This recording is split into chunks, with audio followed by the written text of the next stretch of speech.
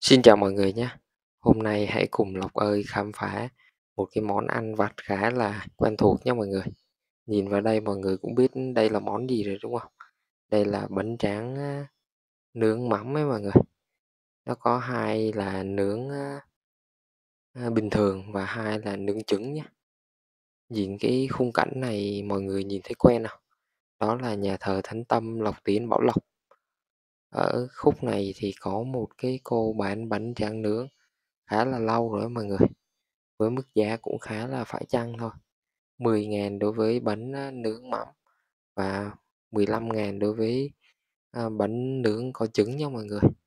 Ở đây thì không có topping nhiều đâu mọi người, chỉ có mắm, hành à, và trứng thôi nhé. Ngay cổng trung tâm à, nhà thờ Thánh Tâm ấy, ai ăn bình bánh tráng nướng ở đây rồi thì comment bên dưới cho lọc đánh giá nhé. Hôm nay quay review một cái địa điểm ăn bánh tráng nướng khá là rẻ và ngon tại Bảo Lộc, Lâm Đồng. Mọi người thấy video hay thì nhớ like và đăng ký kênh của Lộc ơi để đón xem những video mới nhất. Cảm ơn mọi người.